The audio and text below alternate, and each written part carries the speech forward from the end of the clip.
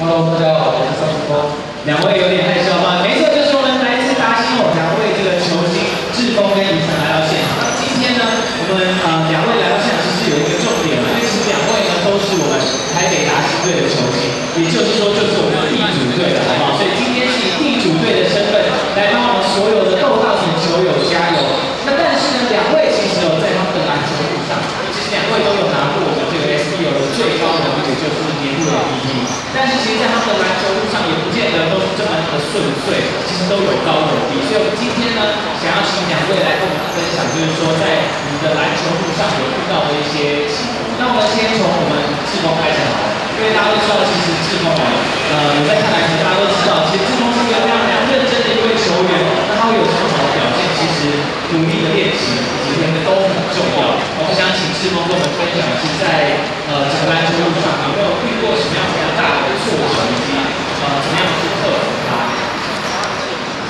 上次学下来，篮球上就前十前十支的太强调，那那时候自己也蛮蛮痛苦的，因为隔一年可能有点是是技术大陆杀的，那那那那有什么都，然后那时候受伤，那也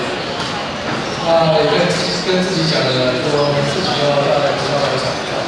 那就我自己就是要坚持。那所有的篮球员跟马山队长，不管一些训练，还有跟其他的教练，都有坚持还有态度。那我自己一直在当球员身份上面，我每一天的训练量，我都比都比一般人更多。所以我也其实他们自己说，我前十前十前十支的带教练说，如果两年以后再考虑 SBL，然后我就，对打球成熟的态度，那我还是回到 SBL 这个球。这个应该是没有人没没受过伤的人是不晓得。那我只我只举例举例一下，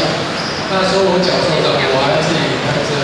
从我没有住庄了，抓抓到内湖去做复健。那因为我们脚的角度，因为有开过刀，一个变成奖励那时他说每天要渡金要个一万年要后要九十度九八十度这样子一直往那时候墙壁都是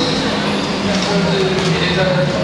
他也跑得比较远他也没有出现这首歌那不不同的场地都被我选到破掉了我觉要破掉了然后碰到就是没有没有收获到没有办法就是还是对但是我们知持续是福建的东